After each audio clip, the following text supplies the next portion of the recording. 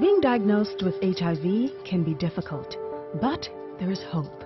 Treatment is free and available at HIV care and treatment sites. Medications are easy to take and will get the virus under control. It is important to know the names and not just the color of medications. NGOs have workers available to help you learn about the pills. Talk to your health worker about your treatment program.